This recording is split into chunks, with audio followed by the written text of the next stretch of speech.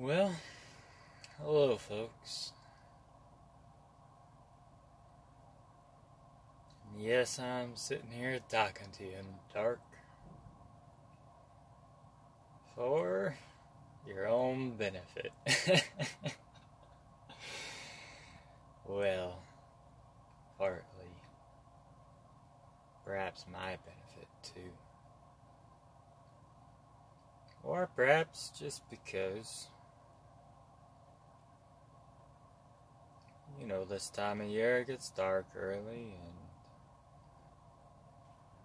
with the weather, sometimes I just like to be with that a bit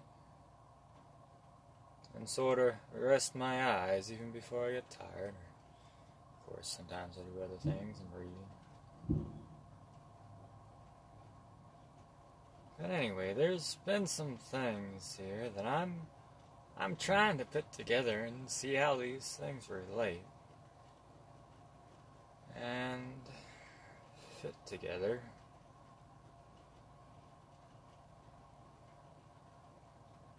One thing which I really can't stand is how individualized and compartmentalized people have become. Such that if you were to look at their mind, you wouldn't find a tapestry. You'd be hard to put to find a tapestry anywhere. You wouldn't find a form, a statue, a sonnet, or a song. What you find is a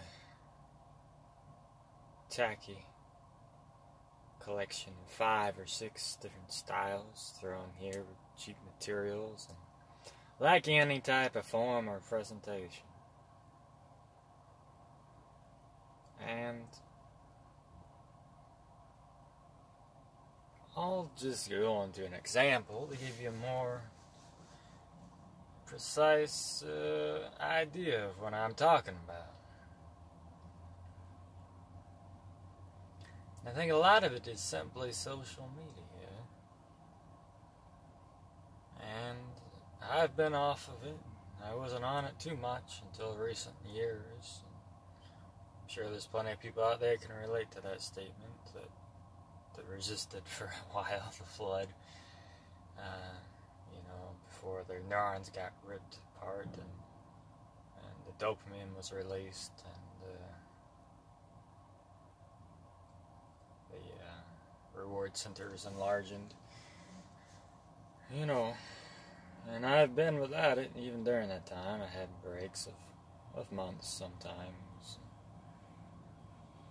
You know, so I'm kind of an analyzing my my own mind I'm going over this. I'm not saying that I'm some type of person who can be unafflicted by these things. I just think it's to a large degree neuroscience and the brain, chemistry.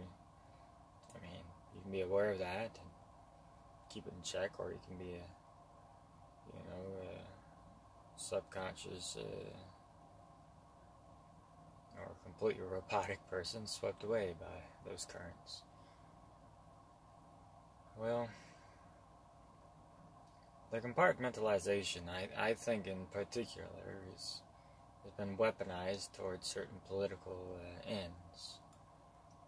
Say,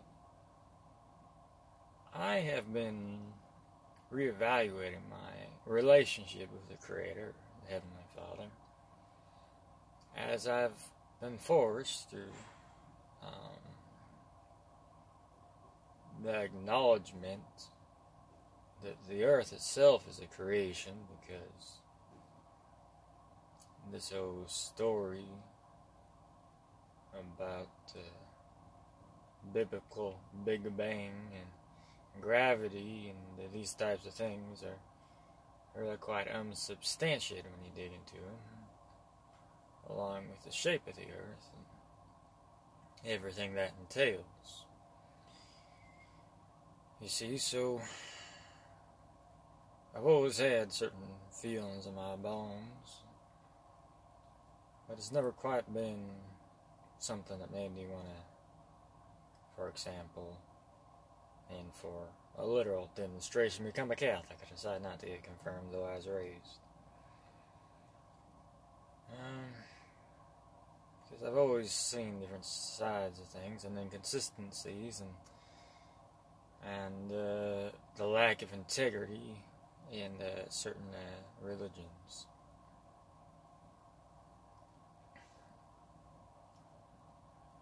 You know, so at first I was exploring what you may come across more often than now when you're introduced into the flat earth the scene, at least uh, that available to the, the Western servers, if you will. I see a lot from the United States and the UK and uh, some other parts of Europe, but mostly those two.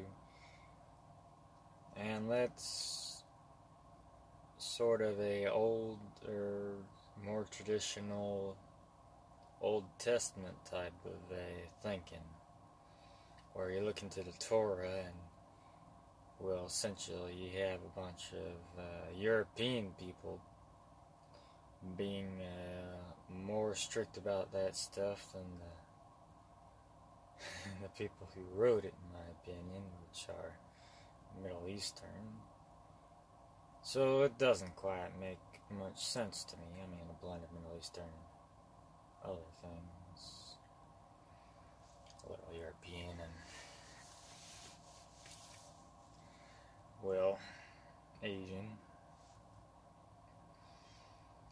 And, uh, you know, and then once you get into that, there's this dichotomy, if you will, within that little sect, which is, you know, they're also the flat earthers who are kind of more into the New Testament side of things and the New Covenant. You know, so I spent some time evaluating those things, and by time, I mean, uh, probably anywhere from four to six or more months where it was, if not a primary focus all the time, definitely for a lot of that time. Where I'd be going over different things and getting to the Gnostics and really just, you know, even actually sitting down and looking through all the Old Testament and having a Strong's Concordance and things like that. And looking at the different Hebrew words and finding odd connections and little things in there that someone who has other knowledge might find in a particular field they're interested in because there's a lot of things in that book I must say. You know but then I also had experiences and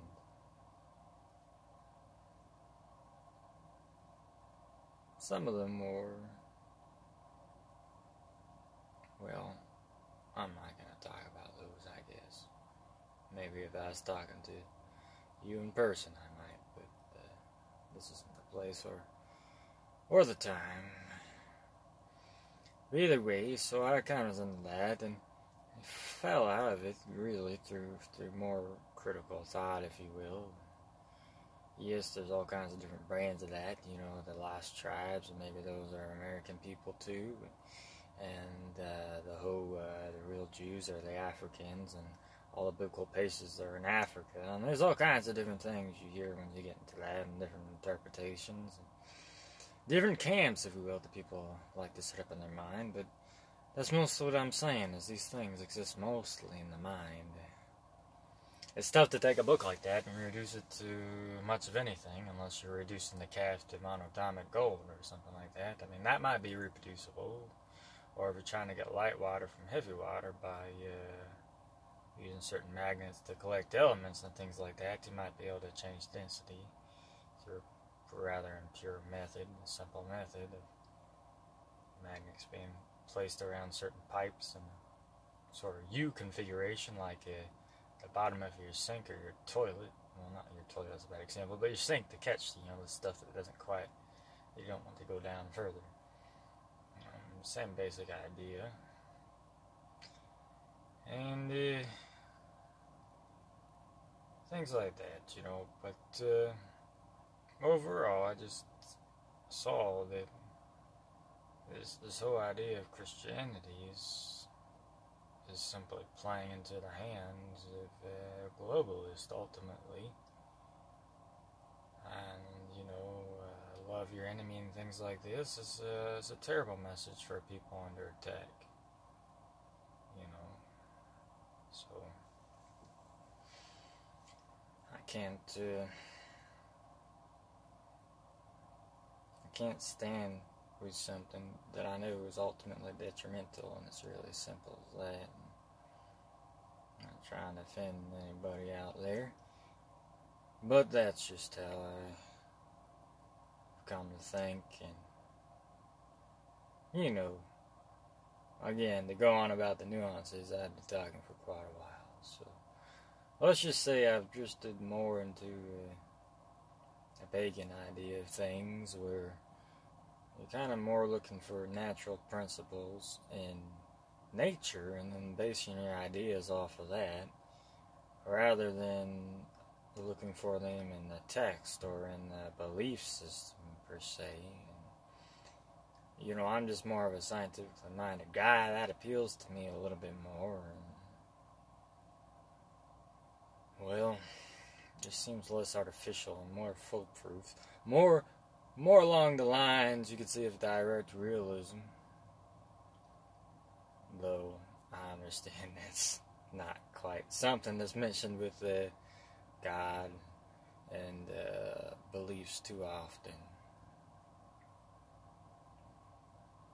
So that's my of development, though throughout that has been this way and that, and I've gone through my stages of uh, revulsion against all these pagan holidays. And, you know, there's lots of kicks you can get, you know, kickbacks and, and little drifts and, and uh, things that build up inside of you when you have a conviction, when you come across knowledges and things you want to reject and push against and shove against. And uh, it can it can imply or um,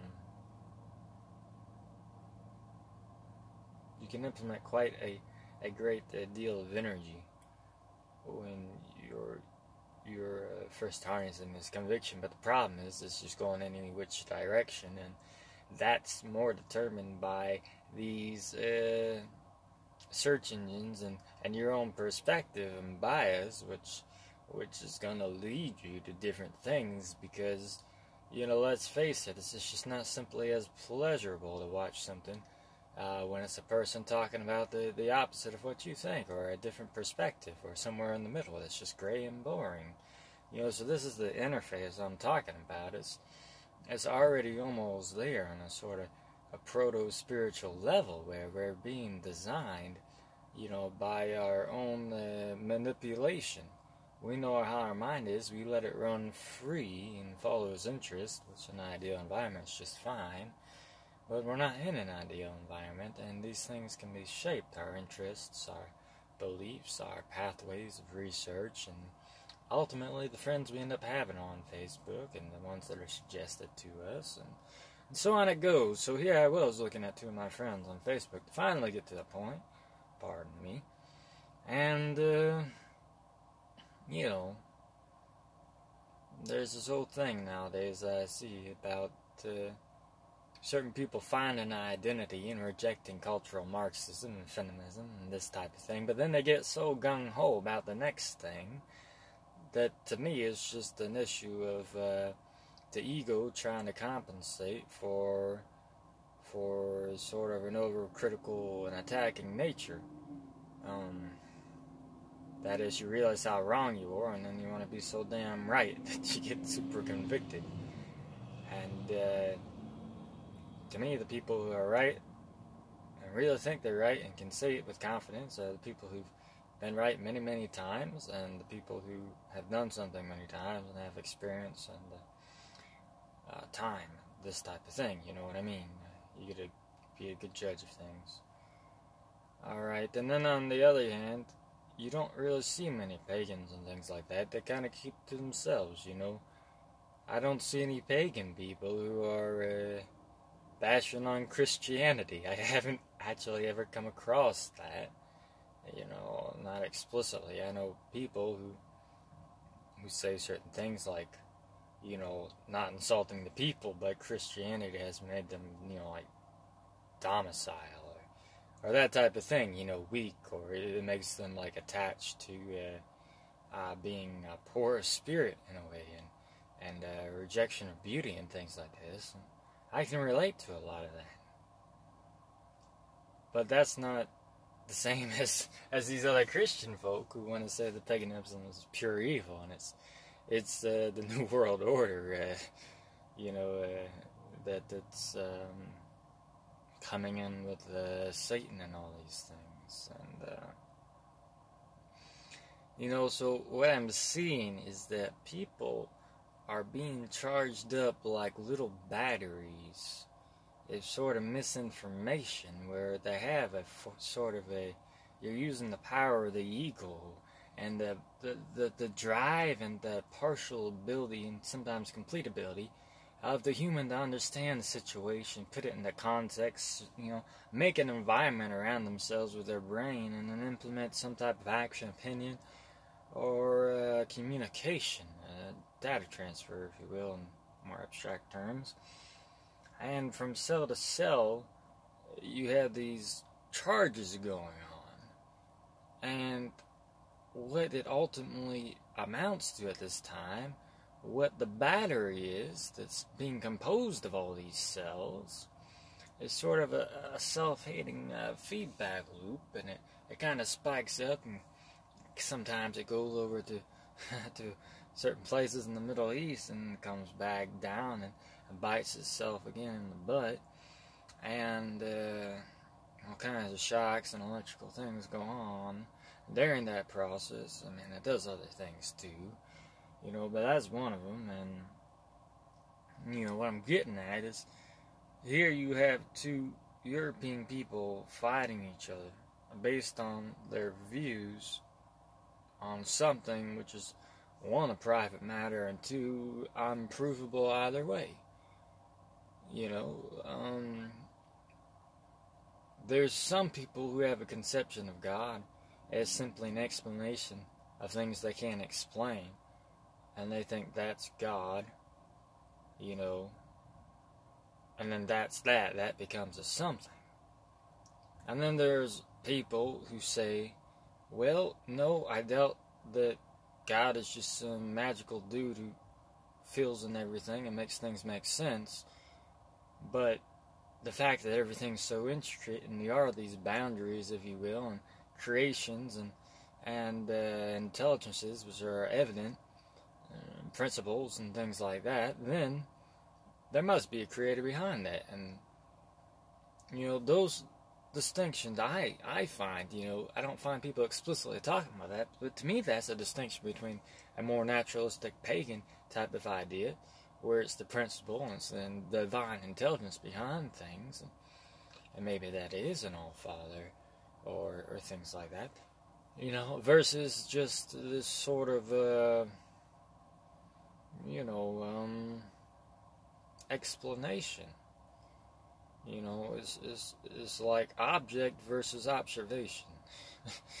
you know, does the mind come up with an object, or does the mind look carefully and observe and try to find things out about that object? And, you know, not to get lost in all that sort of uh, loop to do Hot Wheel tracks going on in the mind loop-de-loops, but, uh, you know. So that's one, one example of this sort of compartmentalization of the mind that's that's really just divorcing oneself from the other when they're right next to each other in the same hand. Same body, which could be feeling some type of national greatness or at least uh, well being be between people and goodwill. Um, where it's applicable and useful. I mean,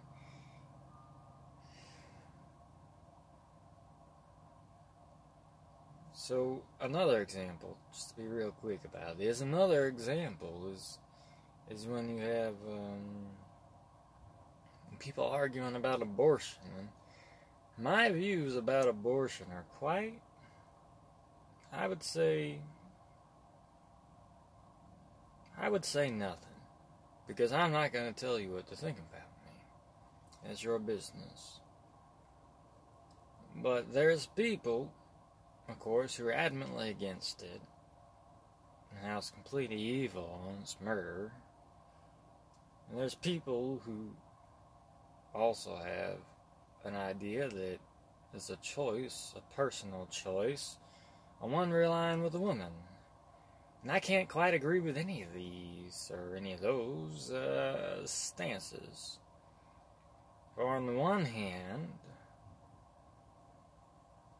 you simply can't prove that there is a soul attached to a fetus, and when would you determine such an age? In Vedic cultures, it says 40 days, but is that just because past that you're not going to have too much of a chance to abort? You know, I don't know why the sages said that, and I don't know if they really even did. That's just a consensus in the more modern uh, uh, guru circles, as far as I've been exposed to them when I was into the Eastern philosophy and went to an ashram. You know, um, and also on that perspective of it being immoral, I'm left with many questions about that. But those will develop naturally when we look at the other hand. For over there, you see it being the personal choice of a woman, and you know, it's not her choice to decide not to have a kid once she decided to have a kid. You can't eat a cake and then later say, I'm choosing to cut off my fat.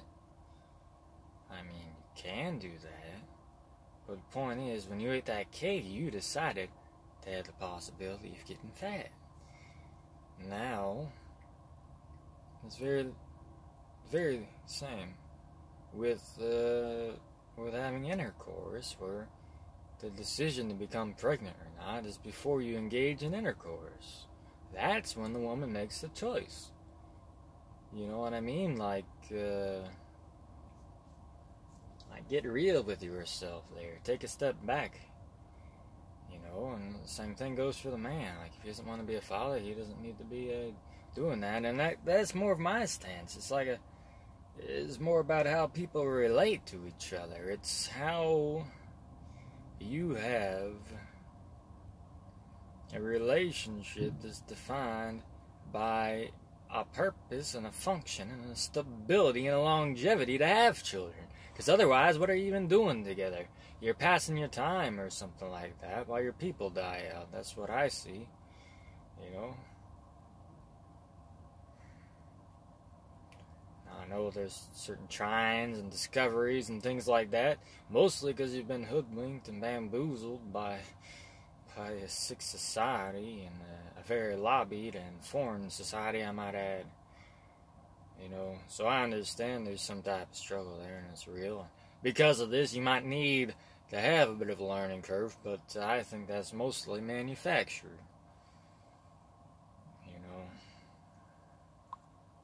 So the idea of consent to become pregnant to me is just, you know, before you have the act, that is when the disclaimer comes up.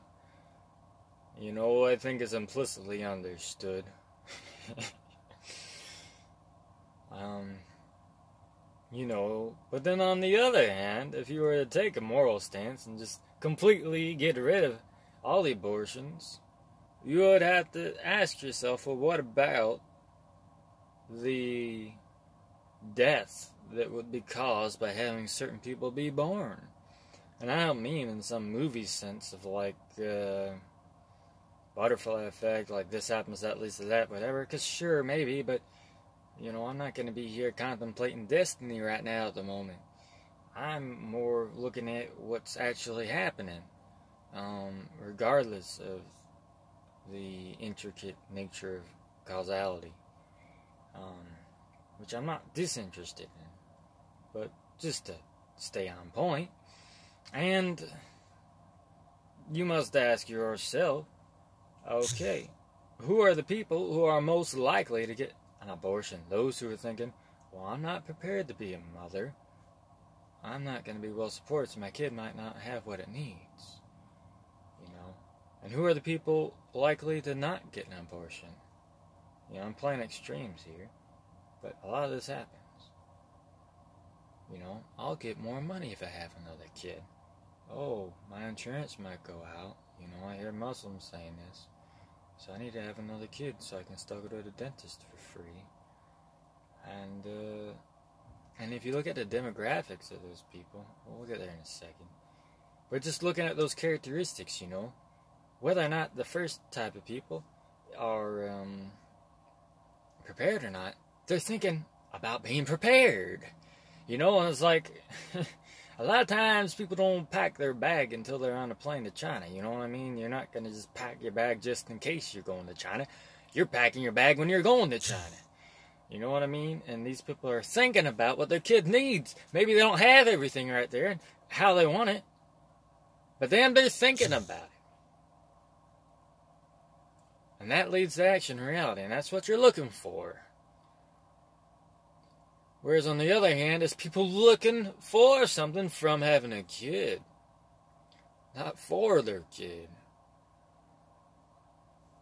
You know, so that's one thing. It's dysgenic. It's inherently dysgenic.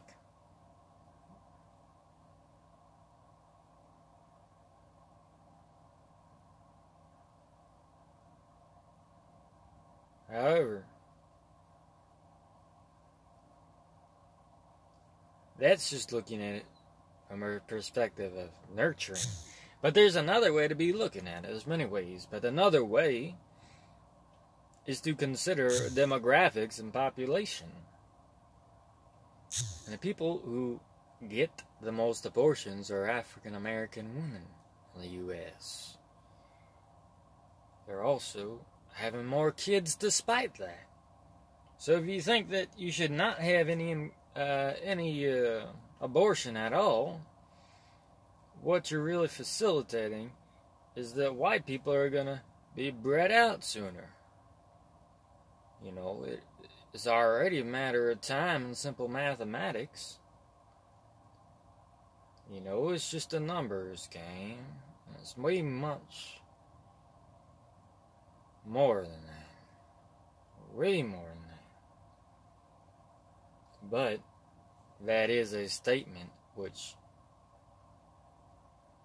has a direct mathematical analog, which is applicable to reality. That is, is already being mapped out and is already being corresponded to predictions.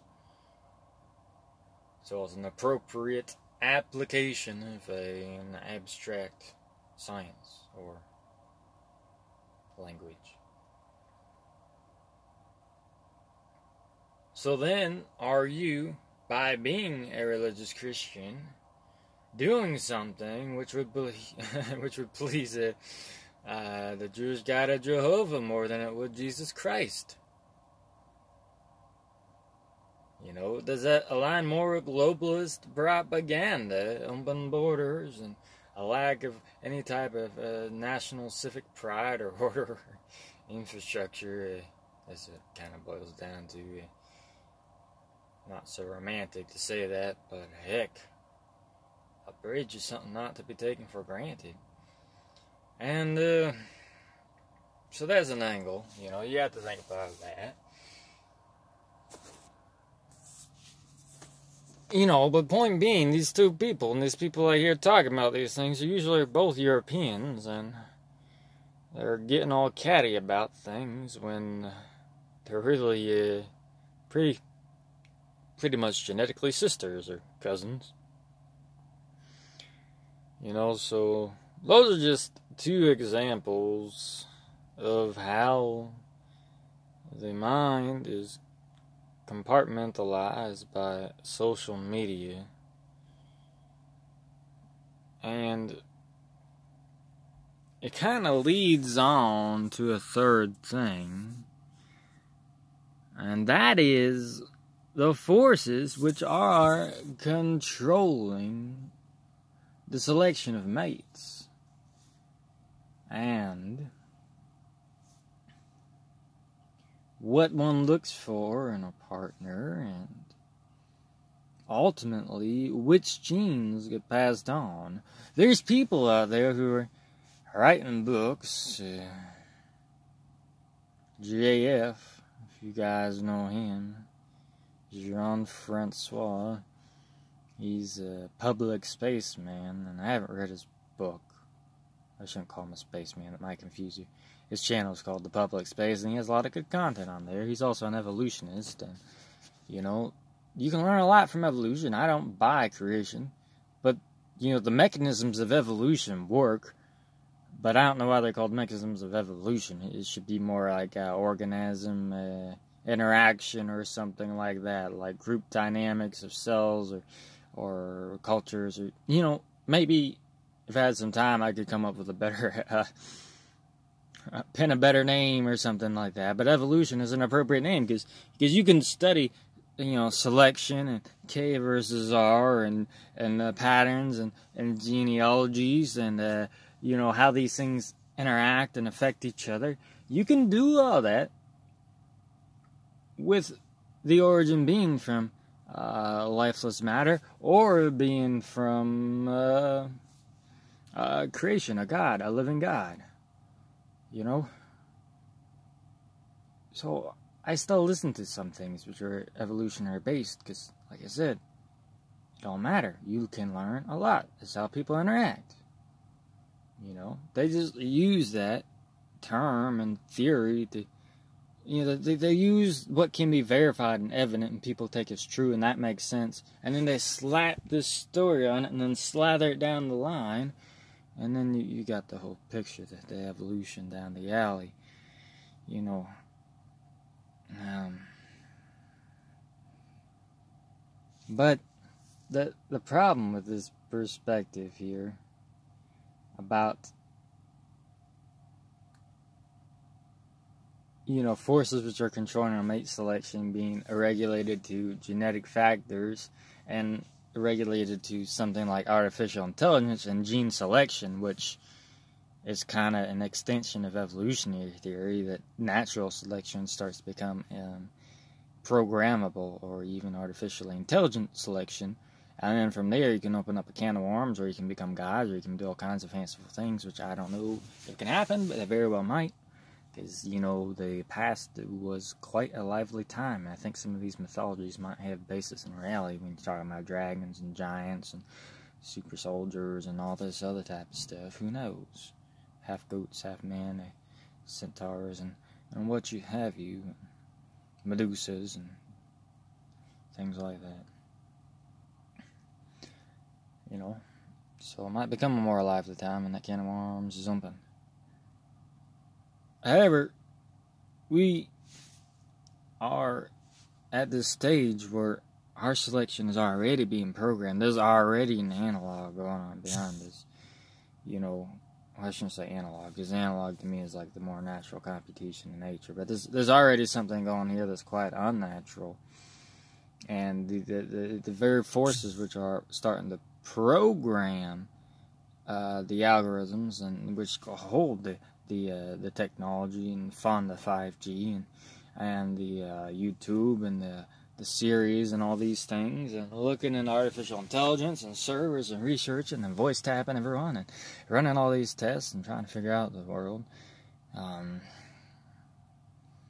these people, might as well call them suckers, uh, to be a bit, uh, how can I say it? Uh, not explicit. Um, a bit comedic. These these suckers are going to and are already shaping how how we um, relate to human beings. And you know, there's an interesting video I saw that was like looking at divorce rates comparing it to movies that came out with divorces in them and how like they made it seem like a big cool thing in a way. Like the kids weren't messed up and blah blah blah blah blah blah blah and uh, like helped the people develop and stuff like that, like positive divorce movies. You know, to the extent that they could be positive in that day, you know, because you're always pushing the envelope when you start these things. Um, and then bam, the divorce rates go up. So that's what I'm saying. It's like this intelligence thing is already happening.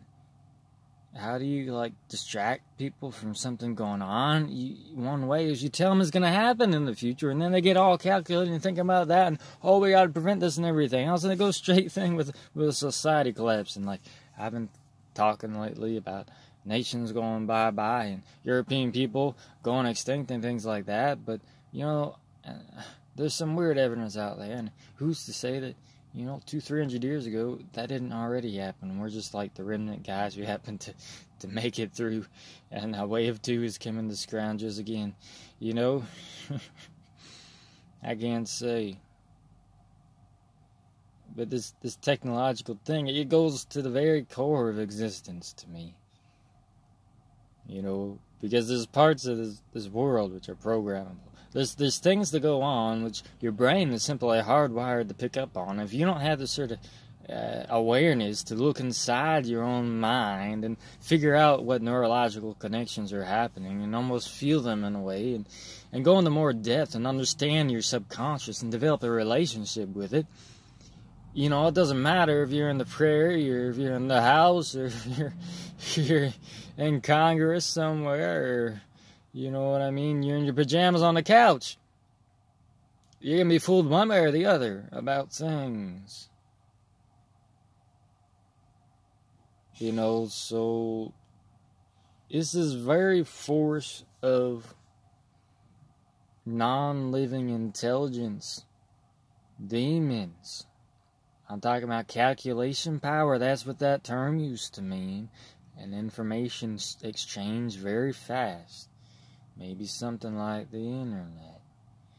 You know, is this type of thing developing people, changing the social situations, developing an infrastructure, having sort of a host parasitic person who maybe because of the brain structure of the DNA or something has a more um, susceptibility to this type of uh, possession, and then they're going to start changing the face of society to the extent that eventually these sort of uh, archaic technologies die down and go away. Because, God, I'm really not against the internet as a thing in itself. But the way technology has been uh, so called blossoming is very destructive. You know, there's a better way to be doing things, and I know that because I can just feel the phone, my hands burn. There's people out there, ah, you know what I'm talking about. It messes with your gut. It messes with your, your sensations, with your mind.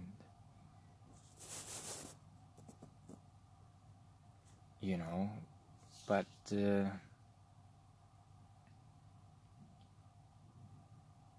the same force in shaping society, shaping the infrastructure, perhaps even how things look, as crazy as that sounds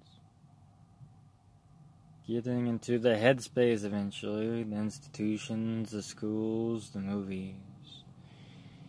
And then having things like the stupid smartphone, which start to have a mind of their own, apparently. But what if that mind isn't a product of artificial intelligence? What if that's just the original non living intelligence? Which has been working against the true living spirit of mankind from the Heavenly Father or the God above, or however you want to say.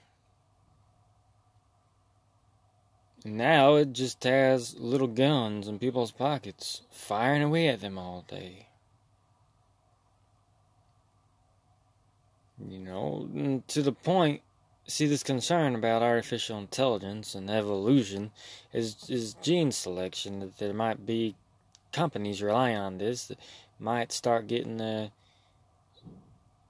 biased over time and centuries and things like that so that they uh, the computers just make everyone domicile and submissive and things like that you know.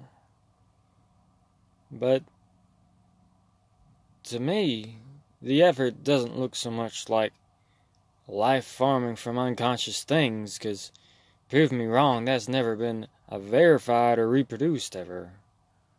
There's no evidence that non living has ever made a living thing. Ever. Viva ex vivo. Life from life. This is the verifiable truth, as best we know it.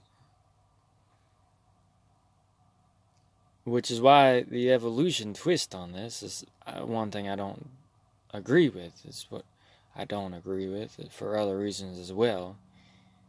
Because it's that subtle twist which says that the threat might be from artificial intelligence, but I'm thinking the threat already exists. It might get stronger and it might get a new nickname and something to excuse it or disguise. Oh, that's artificial intelligence doing that.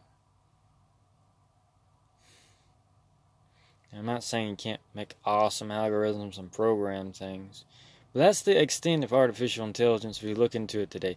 You have programs, algorithms, and they run, they run quite good for a certain while, but then the programmer has to come and reset them again. They haven't found a programmer, an artificial programmer, to program the program. That's what they need to do, somehow or another. Which probably wouldn't be that tough. It just had to be a separate system interacting with it.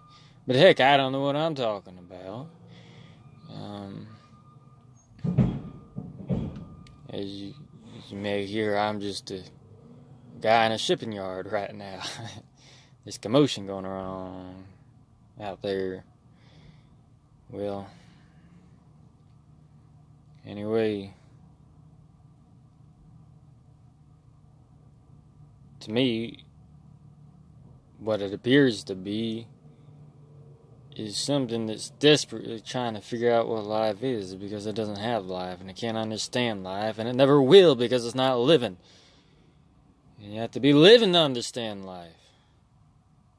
And it wants to figure out the genes related to that thing so it can exterminate them. Get rid of the creativity in the world. Get rid of the light. Get rid of the joy. Make all eyes go dim.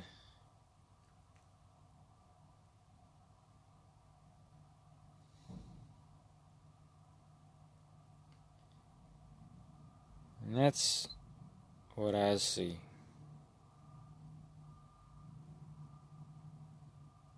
You know, it's, it's something that ties together the forces you see all around. The force is ripping apart the families and tearing apart friendships, polarizing people by politics, but also on Facebook by religion and everything else, and training the, the mind to be to be something like a machine which follows algorithms, and you're you're training your neural networks to work like. Uh, these these technical crooks want them to. All because being online is pleasurable and addictive, and it is. Oh, it definitely is. To a degree. If your life lacks the true sap of living things, wiretapped, well, maybe we're tapped like a maple tree is tapped just as well, and we're bleeding out our sides.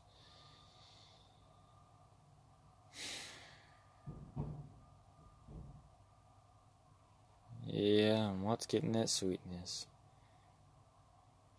Well, anyway, I think that's as far as I want to take it right now. I hope that you can understand where I'm coming from a little bit, how there's an interface between the technological and the biological already, and that the forces at play may be nothing new, and we're just confused and and thinking that this empirical based technological world strictly operating by uh, you know mechanical pathways is is all there is, and the state of knowing we have is so great. And instead of perhaps considering it, these forces may be no different than the forces that the ancients encountered, maybe they weren't off their off their uh, trying to combine two phrases in my head on their high horses and off their rockers, rocking off their high horses. like a rocking chair horse, how about that?